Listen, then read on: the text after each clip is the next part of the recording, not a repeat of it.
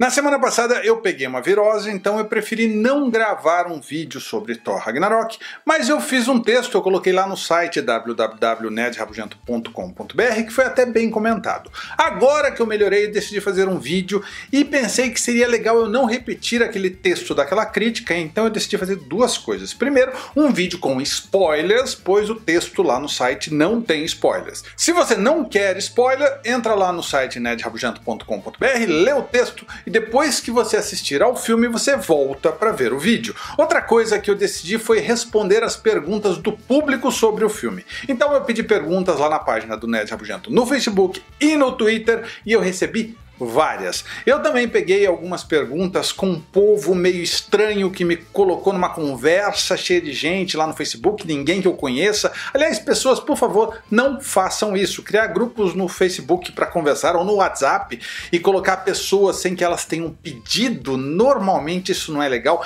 Eu bloqueio isso sem dó nem piedade. Mas vamos ao que interessa. Primeiro, eu tenho que dizer que Thor Ragnarok é o melhor filme do Thor até agora não que isso signifique muita coisa, os dois primeiros filmes do Thor foram muito ruins, alguns dos piores filmes do universo cinematográfico da Marvel. Aí, nesse terceiro, a Marvel decidiu chamar um diretor neozelandês chamado Taika Waititi, que começou a aparecer na mídia depois de co-dirigir uma comédia meio estranha que eu não gostei muito, chamado O que Fazemos nas Sombras, e que tem uma pequena legião de fãs, e ele dirigiu a incrível aventura de Rick Baker, uma daquelas aventuras suaves que poderia poderiam fazer parte da sessão da tarde, bem bonitinha. Aí a Marvel convidou o cara para dirigir a comédia Thor Ragnarok e ele aceitou. Eu tava meio com o pé atrás porque a Marvel é completamente fast food. Tudo que ela faz é quadradinho, dentro de um padrãozinho, e diretores autorais não costumam se dar bem com isso. Edgar Wright que o diga. Edgar Wright é um ótimo diretor autoral que foi chamado para fazer o filme do Homem-Formiga, mas que teve desentendimentos criativos e tomou um pé na bunda quando tentou colocar mais a sua visão do que o padrão Marvel de fazer filmes. E Thor Ragnarok meio que não foge do padrão fast food Marvel, mas nesse caso é que nem aqueles hambúrgueres gourmets do McDonald's. A montagem, os ingredientes, eles parecem diferentes, mas quando a gente experimenta, eles têm basicamente o mesmo sabor, só muda o molho. Nem vem McDonald's, Burger King, essas coisas todas têm o mesmo sabor. Eu acho que a carne do hambúrguer vem do mesmo lugar. Só muda o molho, mas você briga para dizer que são diferentes só para justificar a sua escolha. Assim como a Marvel ou a DC, é tudo fast food, um é feito na chapa, outro é feito na grelha, mas o sabor é o mesmo. Ou melhor, a falta de sabor é a mesma. Aí a Marvel criou uma linha gourmet de sabores espaciais depois do sucesso do primeiro Guardiões da Galáxia com o molho James Gunn e agora Thor Ragnarok vai para outro lugar dentro do cardápio de filmes e entra no setor espacial com um molho especial chamado Taika Waititi. O Thor passou de um viking burrão que não tem modos no primeiro filme para um molecão bobão espirituoso cheio de piadinhas engraçadas e isso foi muito bom. Ele carrega o filme nas costas, a gente deixa de se interessar pela história e quer pegar as piadas, quer rir, quer ver qual vai ser a próxima zoeira. Mas a história, o enredo, sem as piadas é mais do mesmo, não acrescenta nada, não chama para Guerra Infinita, é completamente esquecível, você vai sair do cinema tendo se esquecido mais da metade do filme pode prestar atenção. A história é a seguinte: o Thor conhece a Hela, a Hela manda o Thor pro planeta Hulk, os dois lutam entre si e depois eles se unem e formam um time com Loki, Valkyrie e mais alguns, e no final esse time vai para Asgard lutar contra Hela e fim. Nem a música do Led Zeppelin, que é foda e funciona muito bem como música título pro Thor, consegue ser memorável. Não me perguntem porquê, mas eu saí cantando Fox on the Run, a música de Guardiões 2. Fox on the run, you screams and everybody comes a running, take a run and hide yourself away. Não me pergunte o porquê. Mas antes que vocês me taquem pedras, eu gostei de Thor Ragnarok. Algumas piadas são muito boas, com aquele timing certo para fazer rir, como a piada do Matt Damon ou a piada que o Thor conta sobre o Loki quando os dois tinham 8 anos. Dessa você vai rir. Eu me diverti com essas piadas, principalmente com a segunda, e com algumas outras, e com certeza o público vai se matar de rir e sair do cinema dizendo que Thor Ragnarok é o melhor filme de super-herói de todos os tempos da última semana. Eu não tenho dúvidas quanto a isso. Mas ainda assim, é fast food, é esquecível, por mais que você tenha gostado do último hambúrguer que você comeu no Burger King, eu duvido que você ainda se lembre dele. Aquele especificamente. Mesma coisa aqui. Thor Ragnarok é a melhor comédia da Marvel e uma das melhores comédias do ano, muito melhor que Guardiões da Galáxia 2, com aquele monte de gritos e risadas forçadas. Bem, eu acho que eu já fiz a minha análise sobre o filme, então agora eu vou responder as perguntas que o povo me mandou pelo Facebook e pelo Twitter. Antes de responder as perguntas, eu preciso dizer que este vídeo é um oferecimento da Game Vault, o melhor lugar em São Paulo para quem gosta de jogos de tabuleiro. Fica na Rua das Azaleias 138, pertinho do metrô Saúde entra no Facebook da Game Vault, dá uma olhada nos eventos que acontecem lá toda semana. A gente vai combinar ainda um encontro entre os rabugentos lá na Game Vault. E agradeço ao Roger, pois é graças ao apoio da Game Vault que esse vídeo não tem nenhuma publicidade no meio. Entra lá na página da Game Vault e agradece. Da última vez ele veio felizão me mostrar que vocês realmente agradeceram. Conheçam a Game Vault, vale a pena. Primeiro eu vou começar com as perguntas do grupo que alguém me adicionou e eu não conheço ninguém naquele grupo, tá? Thor Ragnarok é o filme de super-herói mais engraçado de todos? Eu tava aqui pensando, com certeza sim é um dos mais engraçados, mas eu ainda acho que eu me diverti mais com Deadpool. A luta final é boa, se pensar bem, mas bem mesmo, a gente não vê uma luta final em Thor. O Thor nem mesmo participa dessa luta final.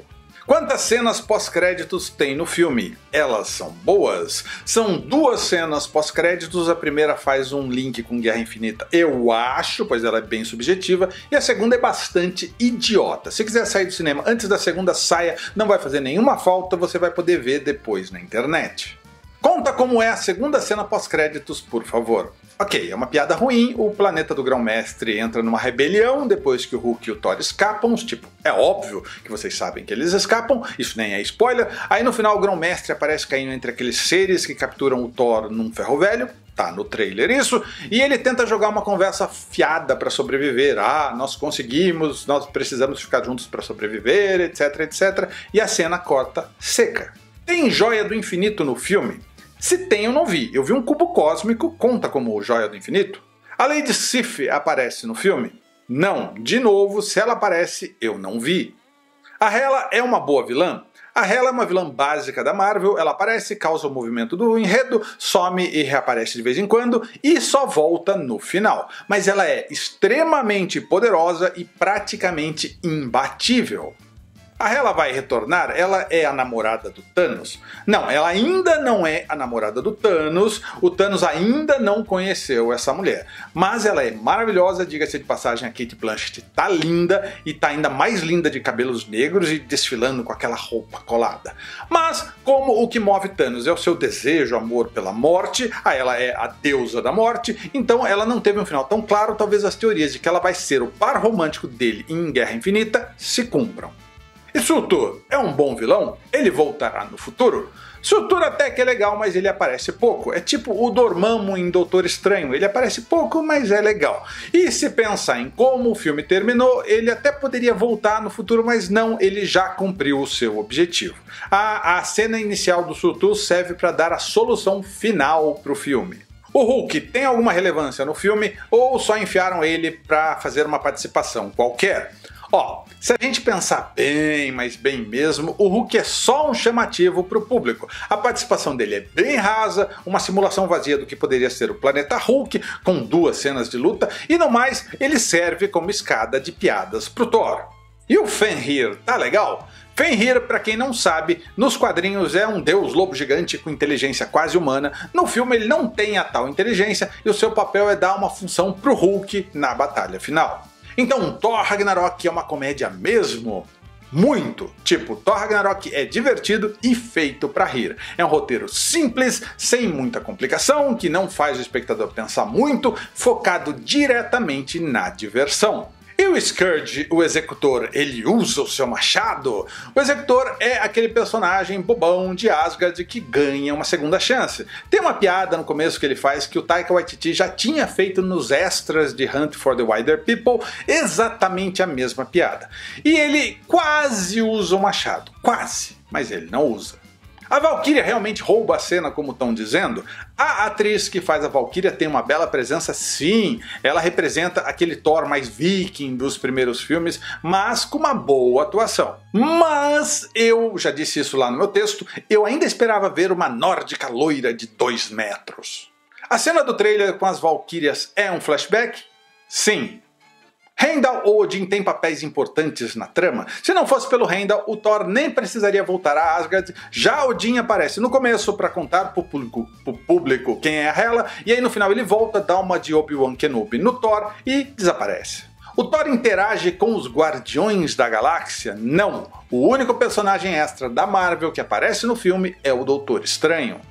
Tinha medo de ficar meio Planeta Hulk, meio Ragnarok? Eles exploram bem essas duas histórias distintas na tela, eu digo, eles conseguem criar bem uma amálgama dessas duas histórias, dando um equilíbrio aos dois personagens em tela? Ou perguntinha longa e complicada? Não, não tem quase nada de Ragnarok e muito menos de Planeta Hulk, só vários elementos dos dois espalhados. O roteiro mesmo é o de um filme de resgate.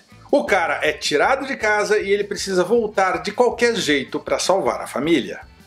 Você acha que no Guerra Infinita com Thanos, etc., esse clima comédia vai continuar ou será mais sério? Guerra Infinita precisa ter um tom mais sério, mas como eles vão fazer isso agora, já que tudo virou comédia, eu não sei. A Hela é filha do Loki? O Sutru tem um propósito no filme ou é só pra encher linguiça? O Fenrir come a cabeça do Odin? Ou é o melhor filme do Hulk disfarçado de outro filme? Não, ela não é irmã do Loki. Sutru tem um propósito importante, mas ele é pequeno no todo. O Fenrir nem se encontra com Odin. E não, não é um filme do Hulk, é um filme do Thor. Ele só aparece para ajudar nas piadas do Thor. A luta entre Thor e Hulk é boa e equilibrada ou o Hulk bateu fácil? É equilibrada, o problema é que eu achei ela curta demais. Posso gastar a minha grana com esse filme? Ele tá melhor do que os anteriores? Pode, pode gastar. Tá melhor do que os anteriores filmes do Thor? Sim. Gostaria de saber se o filme é realmente um apocalipse pastelão. É meio pastelão e quase não tem apocalipse. Doutor Estranho tem alguma participação relevante em Thor Ragnarok? É, não, ele na verdade ele faz apenas uma ponta. Existe realmente um arco paralelo do Hulk? Se sim, esse arco está bem trabalhado até o ponto em que ele e o Thor se encontram? Não, não tem um arco paralelo do Hulk, ele é parte do arco do Thor. O Hulk quebra o demônio de fogo, aquele que eu não me lembro do nome agora? Não, ele não quebra o Chutu. Ela é realmente uma boa vilã ou o Loki no último ato rouba a cena? Ela é uma boa vilã pouco aproveitada. Não achei que o Loki rouba a cena, não. Como é a aparição de Odin e a sua importância na história? Ele aparece no começo para morrer e no final para dar um empurrãozinho no Thor. A sua importância é contar para o público de onde veio a Hela. O que tem de Ragnarok, a história em quadrinhos, no filme? Alguns elementos visuais só, em termos de história, quase nada. Tem algum momento em que o humor atrapalha? Não! Comédia é o que move o filme e eu achei que não atrapalha nunca. Diferente de Guardiões da Galáxia 2, ali o humor forçado me incomodou muito. Tem o Bill Raio Beta? Não que eu tenha percebido. Tem porrada fofa? Tem, mas também tem umas que parecem que doem. O Loki é bem aproveitado no filme? Eu acho que dentro da proposta sim, mas poderia ser mais. A cena pós-crédito se conecta com o próximo Vingadores? Isso não fica claro, mas eu acho que a primeira cena sim, a segunda não.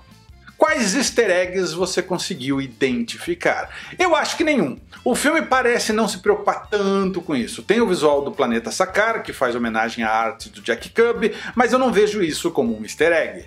Tem lógica o Apocalipse dos Deuses em uma comédia escrachada? Tem quando é uma comédia, um filme para adolescentes, um filme de super-heróis. Não é um drama. Eu acho que dentro da proposta do filme funciona até porque quase não tem apocalipse. Um filme que é uma comédia escrachada sobre o apocalipse e que funciona bem é É o Fim. Você já viu? Se ainda não viu, veja. Eu até me diverti com esse filme. Os trailers contam tudo? Eu vi pouca coisa em termos de trailers e o que eu vi não estragou minha experiência, mas ainda assim eu acho curioso das pessoas elas rirem com piadas contadas antes em trailers. Eu acho que essas pessoas mereciam estudo. Ele tem potencial para competir com o filme Liga da Justiça. Potencial tem, afinal são filmes de super-heróis, mas eu acho que Liga da Justiça, aliás, eu acho não, eu espero que Liga da Justiça não seja uma comédia. Você acha que o filme ficou com mais cara da Marvel ou mais com cara de Taika Waititi? Eu acho que é um filme com cara da Marvel, mas nitidamente com o dedo do Waititi. O que você achou da atuação do Chris Hemsworth? Eu acho que ele evoluiu muito desde o primeiro Thor. Antes ele tinha o carisma de uma batata. Agora pelo menos ele é uma batata engraçada. De longe é o pior filme da Marvel? De jeito nenhum, pelo contrário, é um dos melhores. O filme é engraçado a ponto de assistir duas vezes? Ó, eu sempre compro o meu ingresso antecipado, mesmo quando eu vejo em cabine, e logo eu vou assistir ao filme de novo na estreia. Mas eu acho que não seja para tanto para ver duas vezes, eu acho que uma vez está bom demais. Bem, é isso, perguntas respondidas. Se eu falei alguma bobagem aqui, me corrijam e eu espero ter tirado todas as suas dúvidas. Vocês sabem o nome do maior buraco de minhoca que aparece no filme Thor Ragnarok? Se vocês sabem, deixem as suas respostas nos comentários e não se esqueça de se inscrever para assistir a mais vídeos do Nerd Rabugento. Este é um daqueles vídeos que levam um tempo para ser produzido, o que seria praticamente impossível sem a ajuda dos rabugentos que apoiam lá no Apoia-se. Então pensa aí, apoia o trabalho cuidadoso que eu faço a cada vídeo, eu faço porque eu adoro cinema, adoro séries, cada pequeno apoio ajuda muito. E se você quer assistir a mais vídeos como este, basta escolher uma dessas opções aqui e continuar no canal. Eu agradeço demais.